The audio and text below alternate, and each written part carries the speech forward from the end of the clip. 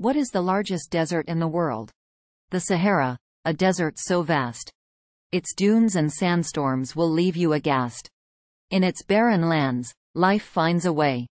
The Sahara, a desert that's worth the sway.